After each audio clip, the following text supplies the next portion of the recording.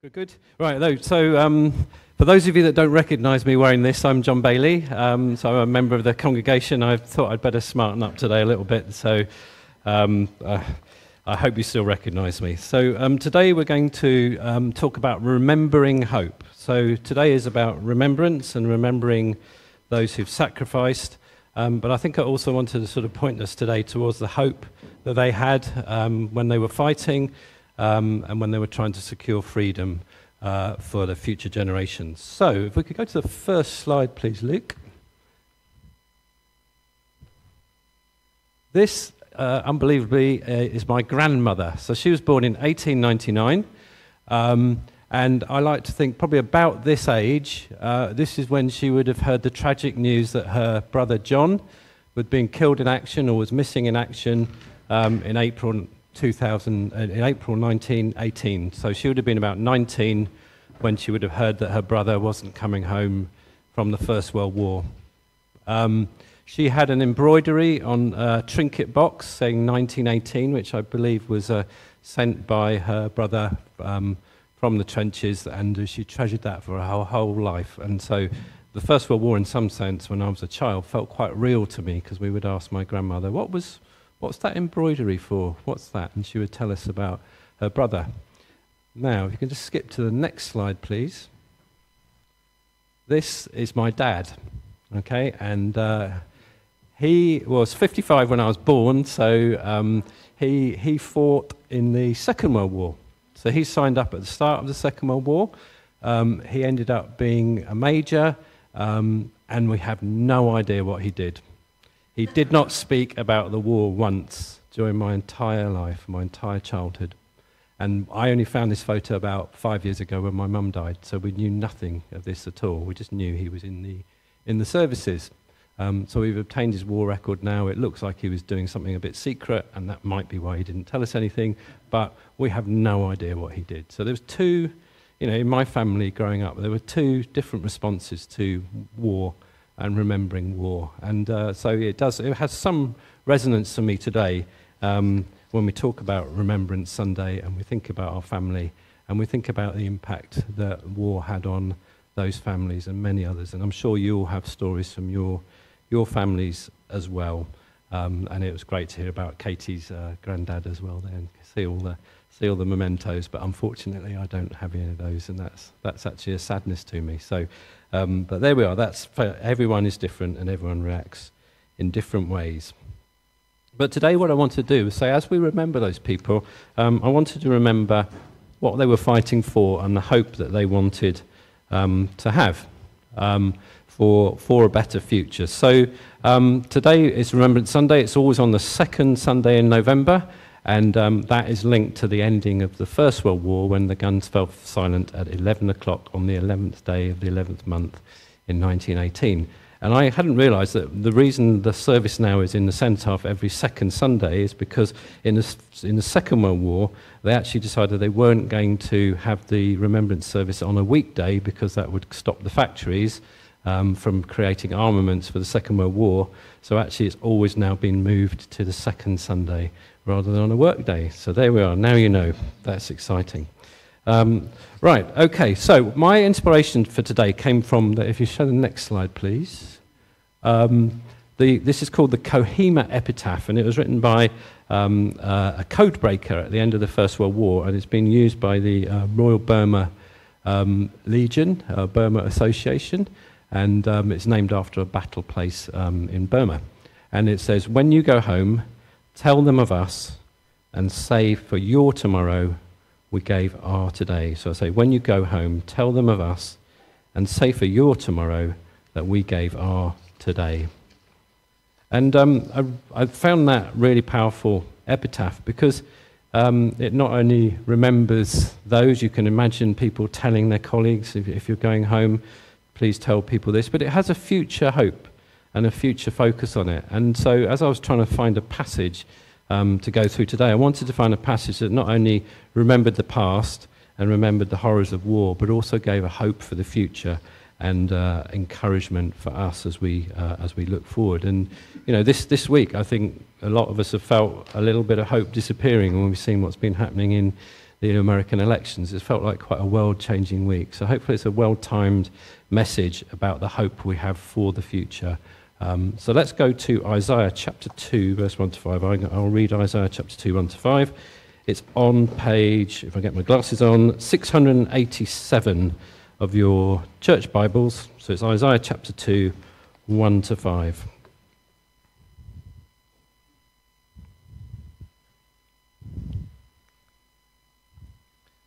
So, this is what Isaiah, son of Amos, saw concerning Judah and Jerusalem. In the last days, the mountain of the Lord's temple will be established as the highest of the mountains. It will be exalted above the hills, and all nations will stream to it. Many peoples will come and say, Come, let us go up to the mountain of the Lord, to the temple of the God of Jacob. He will teach us his ways, and we will walk in his paths. The law will go out from Zion, the word of the Lord from Jerusalem. He will judge between the nations and will settle disputes for many peoples. They will beat their swords into plowshares and their spears into pruning hooks. Nation will not take up sword against nation, nor will they train for war any more. Come, descendants of Jacob, let us walk in the light of the Lord. So, um, Prophet Isaiah lived in a time um, when uh, the, the city where he lived in Jerusalem was full of corruption. There was injustice, there was um, false trading, and God absolutely despised all of that corruption and that injustice. Um, and so, um, what, was, what was happening was that God gave messages to Isaiah to try and tell the people to um, restore that justice, restore that, um, that hope, and restore God's, God's kingdom where they were, where they were living. But um, the people were rebellious and they didn't listen to God and they didn't listen to prophets like Isaiah who, gave, who had God's message um, and they continued to be corrupt. And so God had to judge them. And he judged them by sending the local military superpower of the Assyrians to come and attack them and later the Babylonians as well.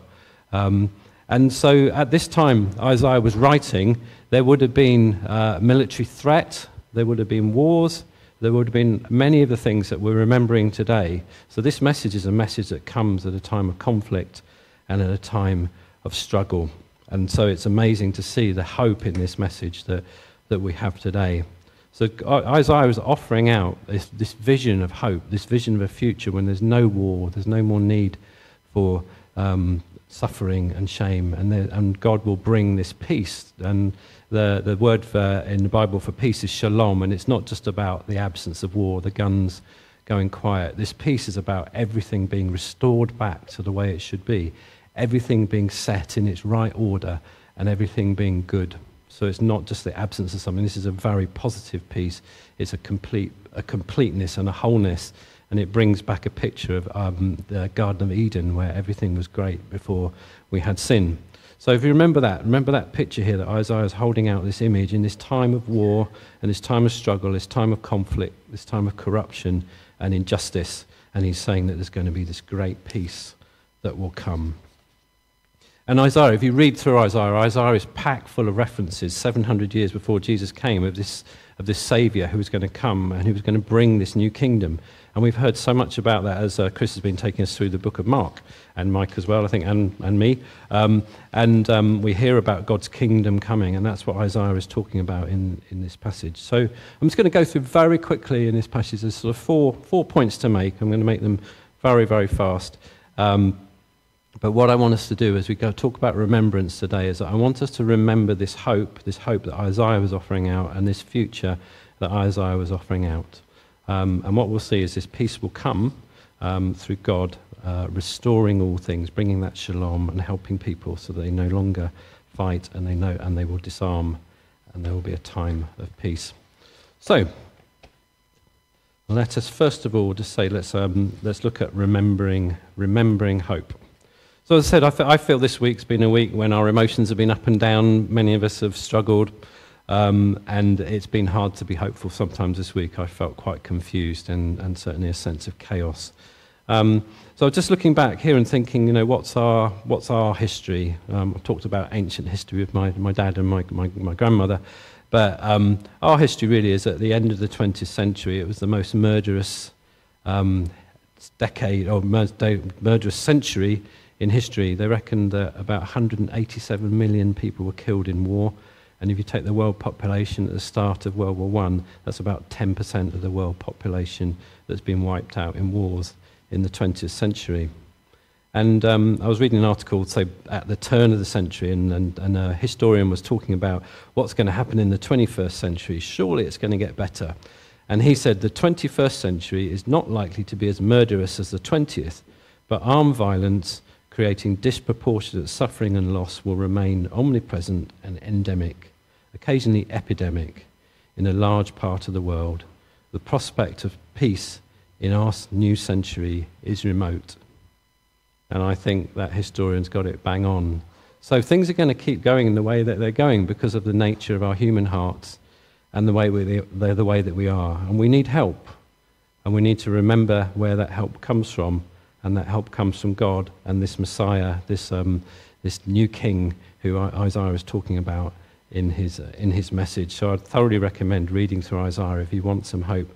Read through about this, this um, Jesus is going to come 700 years in the future and then we can see what he does and how he starts to bring in his peace and his kingdom. So, what we'll see, if we look at verse 2 and 3, it tells us that peace is. If we flip back one side, please, that's my last slide. Uh,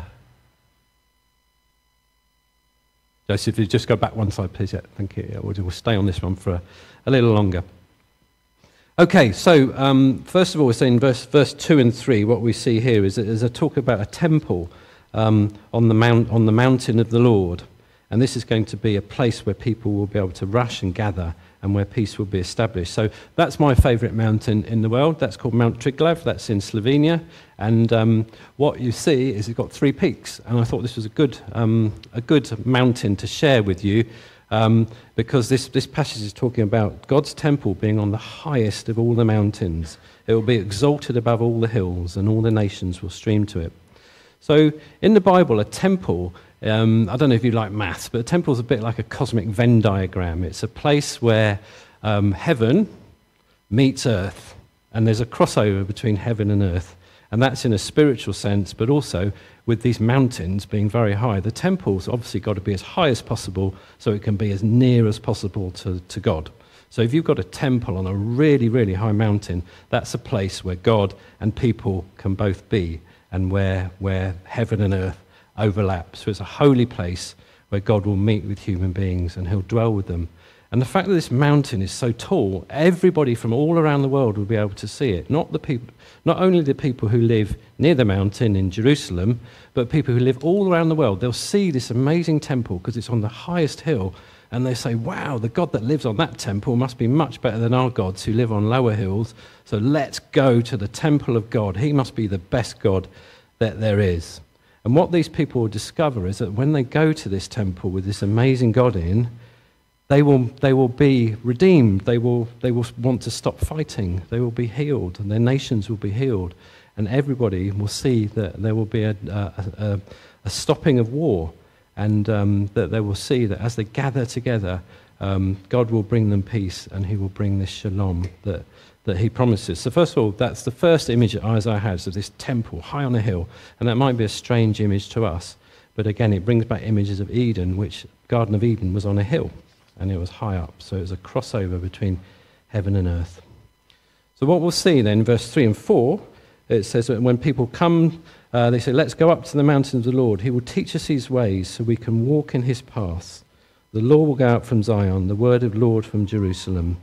So when people come to God's temple and they gather together in God's temple, they will hear God's law and they will know that God, what God teaches, what God demands of us, is the right thing. And that if we follow God's laws and we follow his ways, then that will bring peace and it will bring end to war. And all these conflicts that seem so intractable I mean, I've been out in the Balkans a couple of times this year, and you hear the history. And uh, the reason that people are fighting is because so and so did something in 1312 and they've taken our land and we want our land back. And, you know, there's, there's so many things that have happened over hundreds of years that we're fighting about, which we're trying to correct these historical wrongs. And um, there's no reason. All that disappears because we're there and we will serve God and we will hear his law, and we'll hear his goodness, and we will know him as God, and then the reason to fight will, will disappear. And so, again, that's what we want to do is to encourage people to say, well, where can you hear the word of the Lord? And that's what we're going to come on to in a minute. So, you get this amazing picture that when people hear the word of the Lord and they obey the word of the Lord, which is what Isaiah is encouraging his people to do um, with this prophecy, he says, God will judge between the nations, he will settle disputes for many peoples. They will beat their swords into plowshares and their spears into pruning hooks. Nation will not take up sword against nation, nor will they train for war anymore. And isn't that a vision and a hope that we want today on Remembrance Day as we remember?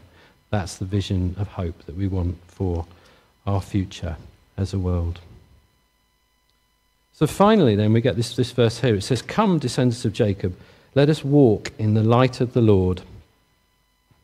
And so that's the encouragement for, um, uh, of Isaiah to the people of Jerusalem and the people in Judah. And it's his encouragement to us now that what we should do is live in the light of the Lord. And if we live in the light of the Lord, if we live the way that God asks us to do, uh, the way that his law says, um, something amazing is going to happen. So, Joseph, if you could just skip on to the, the next slide, please. That if we recognize what God is calling us to do, if we want to live God's way, if we want to put down our weapons and put our, put our arms down, um, we should be living that way now. We shouldn't just be hoping that that happens in the future. The way that we bring in the future almost is that we, if we live out that future now, if we live out the fact that we trust God, if we live out the fact that we believe His law is perfect and wonderful, if we live out the fact that we believe His peace is an everlasting and amazing peace brought in by Jesus. We should be living that way now. And that's our call um, as a church today, is that as we, remember, as we look at um, all of these things, we, are, we should be encouraged that what we want to do is to live in a way that brings hope. But my suggestion today as I close is also not that we should just talk about that hope, but we should be that hope and we should do that hope. So, because we are Christians, because we believe in the kingdom, um, our work here in the church should be seeking to bring that kingdom of God now as we go about our work, as we love people, as we serve Jesus, um, and as we search for peace, um, both in our lives and the lives of those around us, and we can advocate for peace um, as well. So, I think really that's what I wanted to encourage us today. Let's just take this final verse. It says, Come, descendants of Jacob, let us walk in the light of the Lord. So, um, the encouragement today is to try and walk in the light of the Lord, to follow God's law, to follow God's way, to be his advocates, and to try and do that hope and be that hope for the world that the world so desperately needs. So, I'll just pause for a minute and then we can um, perhaps just uh, have our own remembrance for a second and then I'll, I'll pray to close.